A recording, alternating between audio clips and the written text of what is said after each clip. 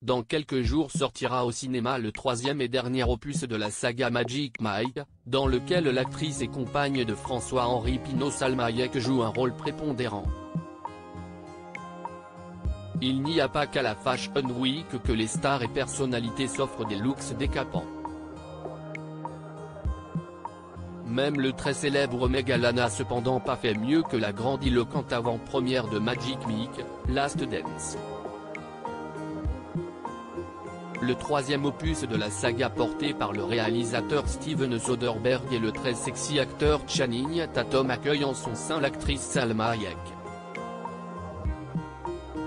Celle que l'on a vue récemment dans Les Éternels, un film Marvel à très gros budget, s'est donc invitée sur le tapis rouge. Une robe en maille très transparente, Salma Hayek assume. Et quel tapis rouge? CIST en Floride, à South Beach, que s'est déroulée l'avant-première du film qui revient sur l'ascension fulgurante d'un groupe de Chippendale après des années de galère. Pour l'occasion, Salma Hayek n'a pas hésité à dévoiler toutes ses formes auprès des photographes et des fans présents sur place.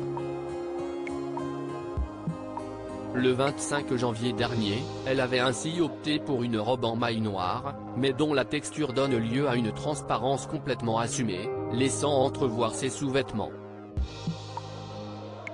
Le tout, accompagné de motifs fleuris très colorés et brodés, ainsi que d'un sac en cuir vert et des chaussures dorées très, très, hautes.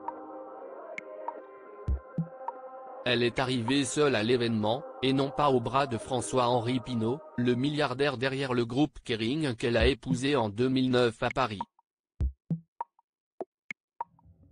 D'actrice à productrice, au bras d'un milliardaire depuis son mariage il y a 14 ans, Salma Hayek est beaucoup moins présente à l'écran.